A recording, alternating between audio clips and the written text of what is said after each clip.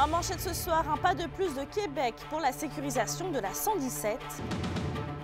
On parle d'ajout de bandes rugueuses, de terre-pleins centraux ou encore des voies de dépassement.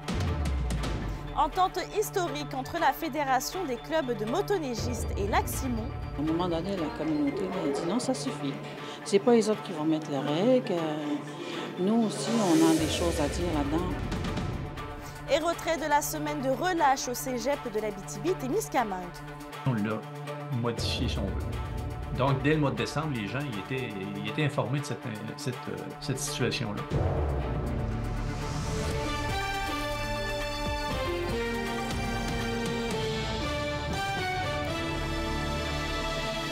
Bonsoir et commençons le bulletin maintenant.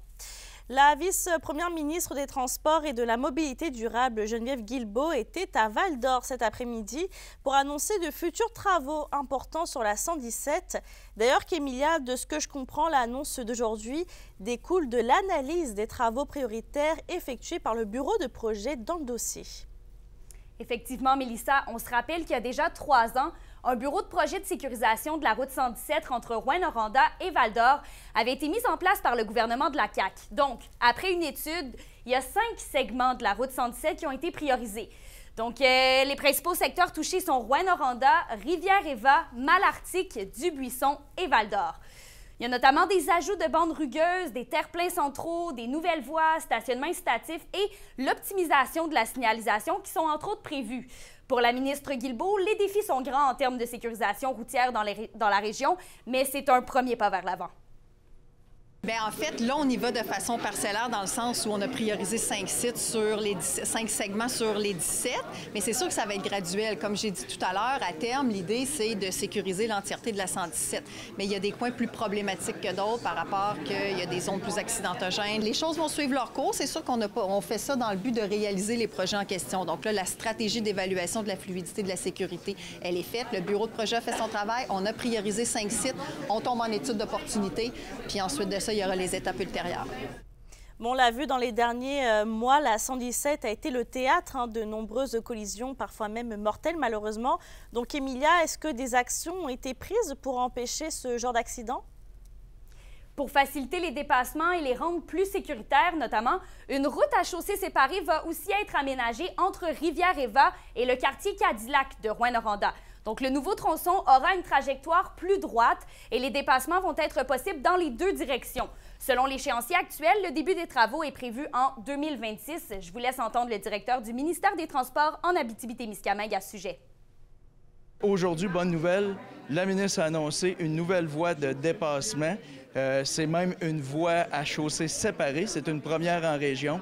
Euh, donc, quelque chose de très intéressant pour, améliorer la fluidité, justement, de la route 117 entre Rouen-Noranda et Val-d'Or. La voie va avoir une longueur de, de 2,6 km, donc une, très, une intéressante possibilité de dépasser de façon sécuritaire dans les deux directions. Ce qui est intéressant à chaussée séparée, c'est qu'on ne sacrifie pas le dépassement dans une des deux directions. Les deux directions vont avoir la chance de dépasser. La ministre Guilbeault a aussi demandé au ministère d'élaborer une planification sur cinq ans dans le but d'assurer la conservation et la sécurisation des chaussées dans la région de la témiscamingue Merci Kémilia, c'est un dossier qu'on va continuer de suivre. On a d'ailleurs été à votre rencontre plus tôt aujourd'hui afin de savoir ce que vous en pensiez de l'état de la route 117, notamment au plan évidemment de sa sécurité. Vous avez été quand même plutôt nombreux à nous partager vos impressions. Comment vous la trouvez, vous, la route 117? exécrable. C'est-à-dire, c'est pas. Il faut mettre de l'argent là-dedans, ça n'a pas de bon sens. Avec tous les accidents qu'il y a là, là c'est, c'est une par jour, euh, presque de Rouen à aller à, à la sortie du parc. Là. terrible. Elle vraiment, là, il faudrait qu'elle la déplace, là, même partout, là, doublée. S'il y a un accident, au moins, on serait capable de circuler pareil. Beaucoup de trafic, il n'y a pas assez de place pour dépasser. C'est pour ça qu'il y a plein d'accidents. tu sais. Ils n'ont fait un autre, mais dans le bout de Rouen, aux côtés de l'autre. Pas bon, là. Je la trouve dangereuse, mais euh, ça va faire du bien. Ça va être une bonne chose. Puis ça fait longtemps qu'on attend ça. C'est pas la, la route qui fait défaut, c'est les conducteurs. Ils conduisent, ils dépassent les lignes doubles, puis ils envoient par là, il n'y a pas de. On dit, comme on dit, ça donne l'ordre de se casser la tête pour la route. Là. Vos réponses à la question du jour TVA. Une présentation de la clinique infirmière Nord-Ouest partout dans la région. Nous vous offrons des consultations rapides avec des infirmières et infirmières praticiennes spécialisées et un nouveau service de téléconsultation. Contactez-nous pour plus d'informations ou visitez notre site Web. La question du jour, on vous demandait également sur notre site Web, êtes-vous satisfait des moyens mis en place par le gouvernement pour la sécurisation de la 117 Vous avez répondu non à 73 et Alexandre, on se doute hein, que l'annonce de travaux et d'ajouts pour sécuriser la route 117 était attendue avec impatience par les acteurs locaux, notamment par les maires des municipalités qui longent cette route. Absolument, Mélissa. Écoutez, à peu près tous les maires et mairesses des villes concernées par les annonces étaient présents. L'accueil, là, c'est pas compliqué, il est unanime. On parle d'une initiative qui était pas mal attendue et franchement désirée. Toutefois, on note un manque d'échéancier pour les travaux. Là, il y a 2025-2026 qui est sur le radar pour un début quelconque, mais tout reste à faire. Il y a une somme d'argent, aucune somme d'argent spécifique non plus qui a été annoncée. Il reste beaucoup à faire selon les élus, mais ils saluent chaudement l'étape importante qui vient d'être franchie. On est content parce qu'on demandait qu'il y ait un bureau de projet, qu'il y ait des ingénieurs. Ils sont une équipe de quatre personnes qui travaillent sur le dossier. on se rend compte qu'ils sont vraiment en train d'analyser les tronçons. Il n'y a pas d'échéancier comme tel, mais ce qu'ils présentent présentement, c'est euh, quelque chose d'intéressant.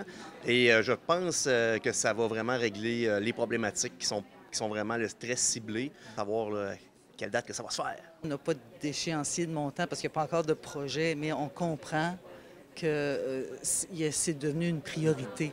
Euh, pour le, gouvernement, à ce qu'on entend de la ministre. Alors ça, c'est une bonne nouvelle. Et la prochaine étape, bien, ce sera de travailler la suite pour aller chercher comment coûte chacun de ces segments-là, pour justement, après ça, aller au programme québécois d'infrastructure et mettre en place les argents pour arriver à nos fins. Et Alexandre, de sécuriser la route, c'est une chose, mais le député de Rwanda, Témiscamingue, en appelle également à la collaboration des usagers de la route.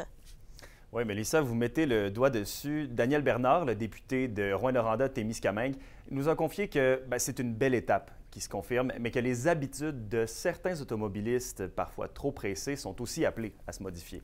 Il souligne que trop d'accidents tragiques ont lieu et que chacun peut faire sa part. D'ailleurs, le commandant de la Sûreté du Québec était présent sur place. Je vous laisse écouter leurs commentaires. On est en bonne voie, puis ça, les gens, faut qu'ils soient contents de ça. Ça va avancer, mais il reste, comme je disais, le dernier volet qui demeure la, présence humaine et les conditions routières et les facteurs humains de conduite. Euh, on, on vise toujours zéro collision. C'est toujours l'objectif. Nos interventions sont toujours dans cet axe-là pour sécuriser le réseau, ralentir euh, le, flot de circulation sur la route pour s'assurer qu'il y a une collision. Et malheureusement, s'il y en a qui soient de moins graves, donc l'annonce de travaux de ce type-là qui vont assurément améliorer la sécurité des usagers, pour nous, c'est une excellente nouvelle. Je suis convaincu que comme tout projet, euh, il y aura des suites dans les prochaines années parce qu'on on veut toujours améliorer le réseau d'une façon ou d'une autre, mais naturellement, il faut faire le projet une bouchée à la fois. Et c'est ça, ça se fait aujourd'hui. Alors évidemment, Mélissa, on va continuer à suivre le dossier pour vous avec les élus locaux différents dans les prochains jours. Effectivement. Merci Alexandre. Et on reste dans la sécurité routière puisqu'une coroner recommande au ministère des Transports d'installer un trottoir et d'améliorer l'éclairage sur la 6e rue ouest à Amos où passe d'ailleurs la route 111. Et cette demande fait suite au décès d'un piéton en mars 2023. Alors qu'il faisait noir, l'homme avait été happé par un véhicule ne l'ayant pas aperçu. Le maire Sébastien Dastou se dit plutôt satisfait que le bureau du coroner se soit penché sur ce malheureux événement. Dans un autre dossier, le 15 janvier est plutôt une date à retenir pour la communauté Anishinaabe de Lac-Simon, insatisfaite d'une entente verbale qui avait été conclue avec la Fédération des clubs de motoneigistes du Québec. La communauté crie finalement victoire après trois ans de négociations. Un reportage d'Anthony Dallaire. La communauté, de plus en plus, euh, euh, que tout soit écrit et les écrits restent, hein. les paroles euh, s'envolent. La semaine s'est amorcée de manière historique dans la communauté de Lac-Simon. Lundi soir, la communauté Anishinaabe et la Fédération des clubs de motoneigistes du Québec ont signé la première entente écrite quant à l'utilisation des sentiers motoneige dans la région, des sentiers qui, selon la communauté, se trouvent en territoire autochtone non cédé. Ça a créé euh, une pleine friction dans la communauté parce que la Fédération y mettait ses règles sans, sans consulter la communauté communauté. Nous aussi, on a des choses à dire là-dedans, puis euh, c'est vraiment une, une consultation communautaire qui a été faite, euh, qu'on a fait. Négocié depuis 2021, l'accord va permettre une meilleure harmonisation entre autochtones et allochtones. Seulement verbal, le précédent accord ne permettait pas de prévenir certains conflits, selon Lucien Aubanonik. Premièrement, il va y avoir euh, moins d'interceptions par les responsables du- des sentiers. Euh, il va y avoir des meilleures discussions, une meilleure collaboration pour éviter aussi des conflits. Il va y avoir un comité de travail qui va être mis en place par les parties signataires de, de cette entente-là. Donc, ça va permettre euh, de mieux se connaître, euh, puis euh, voir qui fait quoi, puis euh, tu sais, l'occasion de se saluer, puis aller, euh, à un moment donné, souper ensemble. C'est c'est le genre de truc-là qu'on veut euh, développer. On est également très satisfait du côté de la fédération, en témoigne euh, Mario Poirier, son administrateur. Pour se promener sur les sentiers, ça ne changera absolument rien, mais euh, c'est une entente de reconnaissance euh, des communautés, mais la communauté du Lac-Simon en particulier. Là, on veut garder des bonnes ententes. On reconnaît euh, le, le terre non cédé et on est content qu'eux reconnaissent notre façon de travailler, nos pratiques. Avec cette entente écrite, Adrien Jérôme et Lucien Guadanic considèrent avoir ouvert la voie aux autres communautés autochtones qui, elles aussi, n'ont que des ententes verbales avec la Fédération. Anthony Dallaire, RSI Nouvelles, Val d'Or. En éducation maintenant, le cégep de la BTB-Témiscamingue retire la semaine de relâche initialement prévue du 4 au 8 mars prochain. C'est ce qu'indique une communication envoyée aux étudiants dont nous avons pu mettre la main, vous, vous l'avez dit hier. Kimberly Hall s'entretient avec le directeur des études, François Côté, pour nous préciser les raisons de cette décision. Donc, c'est officiel, la semaine de relâche, euh, c'est officiellement annulé. Donc, euh, qu'est-ce qui a poussé cette décision? Nous, on a choisi de faire euh, des finir la session en décembre. Il y a eu des examens en janvier, ce qui fait que les notes, les enseignants nous les ont remises la semaine, vendredi passé.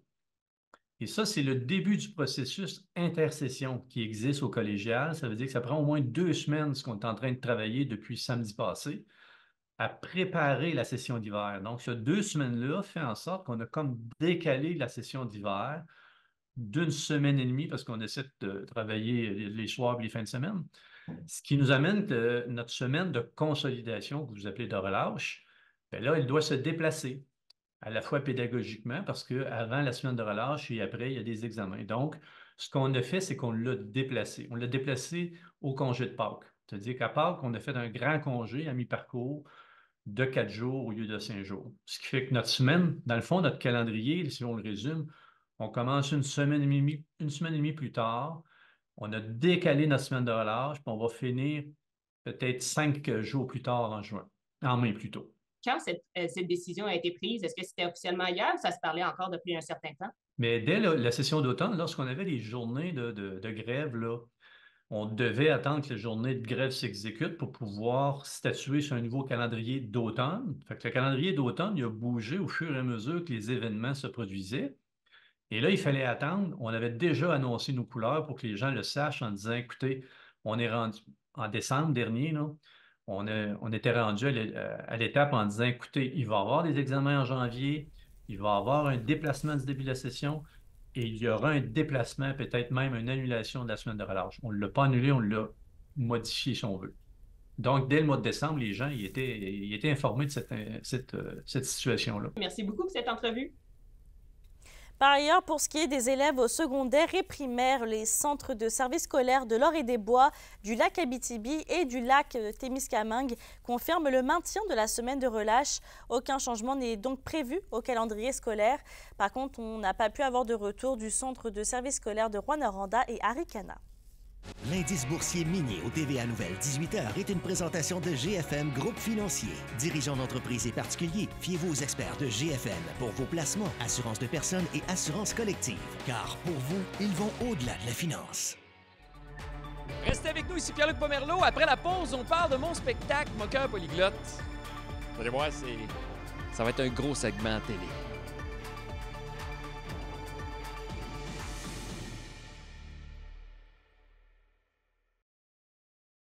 Les SADC de l'Abitibi-Témiscamingue et du nord du Québec vous présentent la bonne nouvelle économique TVA.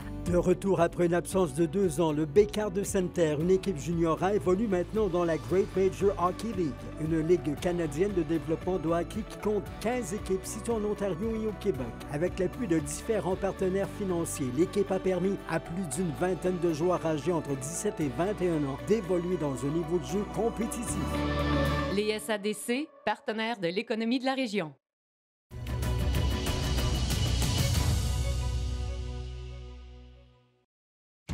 La chronique culturelle vous est présentée par Bruno et Jasmin Leclerc, denturologistes. Des cliniques à la fine pointe de la technologie pour vous servir à Lassar et à Amos.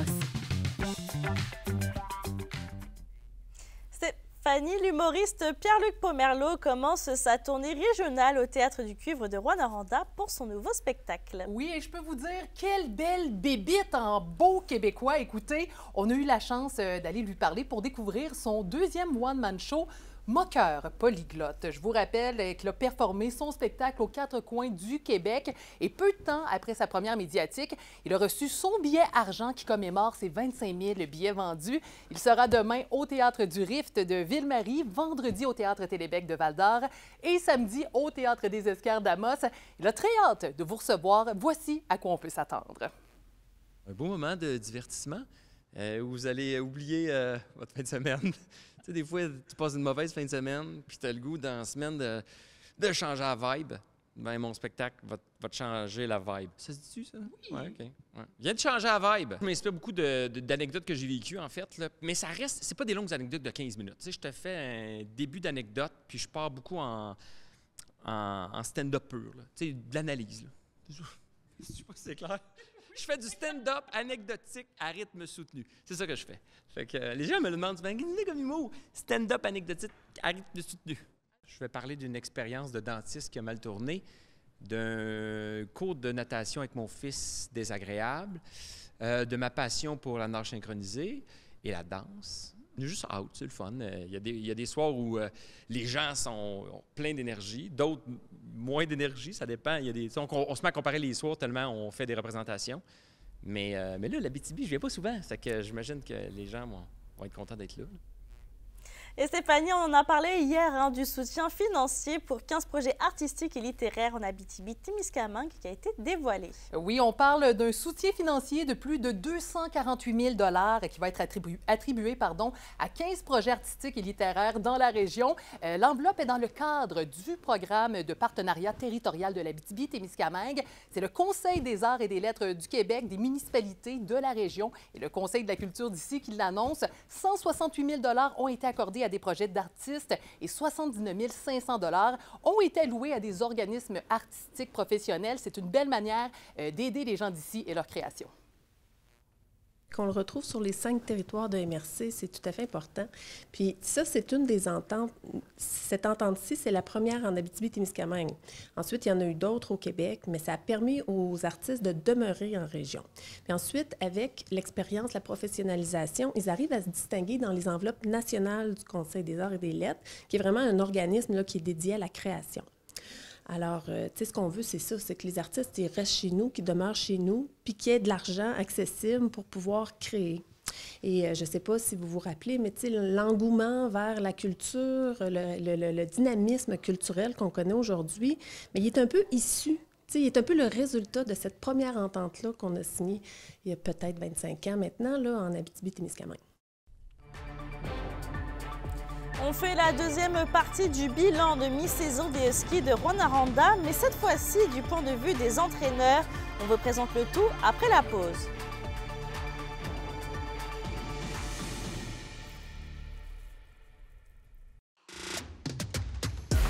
Les sports vous sont présentés par Thibaut GM, votre concessionnaire de confiance à Rouen-Noranda, là où qualité et choix se rencontrent. Et on fait la deuxième partie du bilan de mi-saison des Huskies de Rwanda, mais cette fois-ci du point de vue, des entraîneurs. À nouveau, Alexandre Cabana. Le rendement est appréciable, mais les attentes sont élevées. La Meute est présentement au deuxième rang de la LHJMQ. C'est un début de saison d'adaptation pour l'entraîneur-chef recru dans la LHJMQ Martin Dagenet, mais selon lui, ses années d'expérience en Ontario et sa complicité avec ses joueurs l'ont bien outillé afin de faire face à la dureté du calendrier. C'est voyager comme je voyage présentement, je ne l'ai pas vécu avec les 67 d'Ottawa. En Ontario, il y a beaucoup moins de voyagement. Euh, donc, la fatigue, c'est le mot anglophone, c'est un grind. C'est vraiment ça. Ça l'est pour les joueurs, mais ça l'est pour nous autres. Euh, puis, même moi, comme entraîneur, j'ai eu des, hauts et des bas durant la saison, un peu comme les joueurs. Là, cette semaine, on, on prend Bécomo deux fois on, a rejoué contre eux jeudi, donc c'est facile de te lever à 6 heures, te rendre au bureau puis faire de l'ouvrage. Tu sais, j'apprends à y faire découvrir un petit peu la Ligue, les joueurs. Ils arrivent de, de l'Ontario, euh, la Ligue junior de l'Ontario. Ils nous amènent des nouvelles choses aussi qui arrivent de, de ce Ligue-là. C'est différent un petit peu, tu sais, même si on est dans le même pays, puis ça reste le hockey, des fois, il n'est pas toujours joué de la, même façon, le, le style. Certains ajustements sont nécessaires, notamment au niveau du rendement des unités spéciales. Les Huskies sont présentement 10e en avantage numérique et 12e en désavantage. Bien, c'est certain que les unités spéciales sont, pas, sont encore pas où qu'on veut qu'ils soient. Le, le, le, désavantage numérique était très bon jusqu'en décembre. Là, il y a eu une grosse rechute depuis un mois. L'avantage numérique, c'était pas beau au début. Ça s'améliore de plus en plus. En même temps, on pense encore qu'on peut aller chercher une coche de plus. Mais si on parle de statistiques avancées par rapport à l'avantage numérique, on est premier dans la ligue pour les chances de marquer créées. Donc, tu sais, ça, on est fiers de ça. Mais est-ce qu'on est capable maintenant d'être opportuniste? Benjamin Bohémier en est à sa deuxième saison avec les Huskies. Selon lui, c'est son éthique de travail rigoureuse qui cadre bien avec la fameuse Husky Way. Fait qu'on focus beaucoup à être toujours dans le top 5 de la Ligue côté statistiques avancées. Je vous dirais qu'on est dans le top 5 dans pas mal, pas mal tout. Puis les gars nous le demandent aussi. La Meute va pouvoir profiter d'un calendrier enviable d'ici la fin de la saison. Gros voyages sont pas mal terminés. Le plus loin qu'on va aller dans les deux prochains mois, c'est Sherbrooke. Donc, il n'y a plus de maritime, il n'y a pas de Bécomo, Rimouski, euh, Québec, Chicoutimi. Euh, donc, je pense que c'est bon, ça, parce que ça va, euh, ça va simplifier un peu les choses. On va pouvoir donner un peu plus de repos aux gars aussi, parce qu'on va être dans le coin plus souvent. C'est ce jeudi à l'Arena Glencore que les Huskies vont terminer leur 2 de 3 contre la meilleure équipe de la Ligue, le Drakkar. Un match aux allures de finale qui en dira long sur la deuxième portion de la saison. Alexandre Cabana pour RNC Nouvelles. La météo, une présentation de Nicoloto de Lassar. Avec la plus grande variété de camions en région, Nicoloto de Lassar, capitale régionale du pick-up. Et à la météo Stéphanie, on a quelques averses de neige qui devraient cesser en soirée. Oui, par la suite, place aux nuages pour l'ensemble du territoire. On a quand même ce soir et cette nuit pour la BTB un minimum de moins 24. Pour le Témiscamingue, minimum de moins 22. Demain, au nord, c'est généralement ensoleillé, maximum de moins 15. Au Témiscamingue, alternance de soleil et de nuages, un maximum de moins 15 et un aperçu pour vendredi. Du soleil pour la BTB avec un maximum de moins 17. Au Témiscamingue, c'est du soleil également avec moins 17 aussi. Passez une excellente soirée. Merci Stéphanie.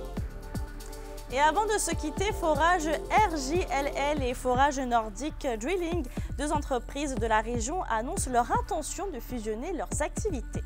Merci de nous avoir reçus ce soir. Bonne soirée et à demain.